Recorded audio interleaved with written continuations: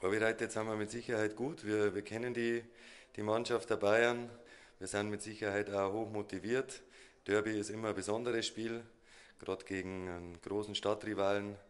Äh, die Jungs äh, gehen gemeinsam zur Schule. Also ich denke, es erhöht einfach ein bisschen die Brisanz und entscheidend wird aber dann sein, äh, was am Platz passiert. Man kann gut vorbereitet sein, aber die Umsetzung ist halt letztendlich dann entscheidend. Aber wir sind guter Dinge und wollen auf jeden Fall äh, den Bayern einen heißen Fight liefern und möglichst natürlich die Punkte äh, im Grünwalder Stadion behalten.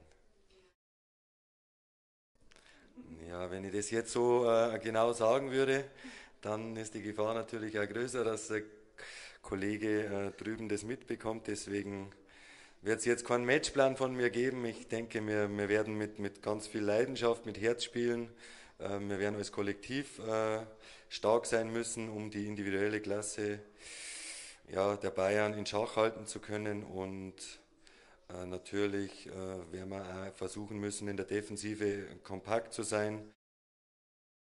Natürlich ist ein Derby auch für einen Trainer ein besonderes Spiel. Ich denke, man, man kriegt da ein bisschen mehr Aufmerksamkeit als sonst. Äh, gerade in der, in der Jugend ist es so, wenn man in einem Derby erfolgreich ist. Äh, grundsätzlich ist aber jetzt schon ein Spiel wie jedes andere. Es geht um drei wichtige Punkte für uns. Äh, wir brauchen Punkte, um die Liga zu halten.